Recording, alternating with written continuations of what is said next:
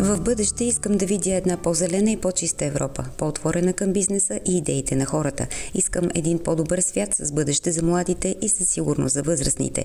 Това каза в интервю за БТА 58 годишния Родислав Караджов, който е представител на България в гражданския панел на тема Изменение на климата, околна среда и здраве, част от конференцията за бъдещето на Европа. Домакин на форума е столицата на Полша, а дискусиите се водят в Бореца на културата и науката и кампуса на колежа на Европа в Натолин. Една по-зелена Европа, по-чиста,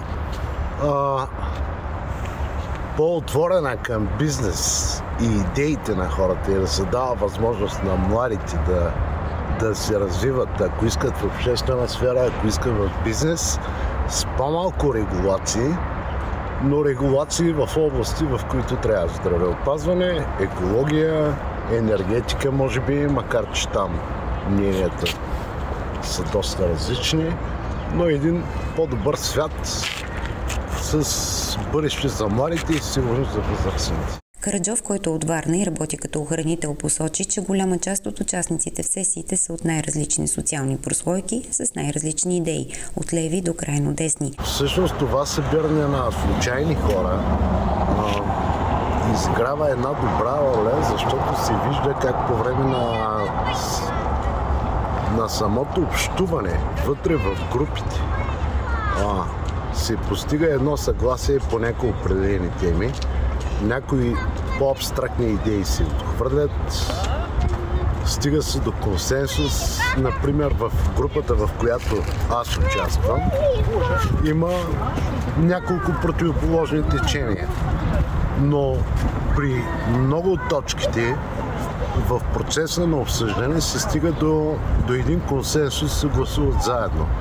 Българският участник е оптимист, че предложенията на гражданите ще бъдат чути от политиците в Европарламента.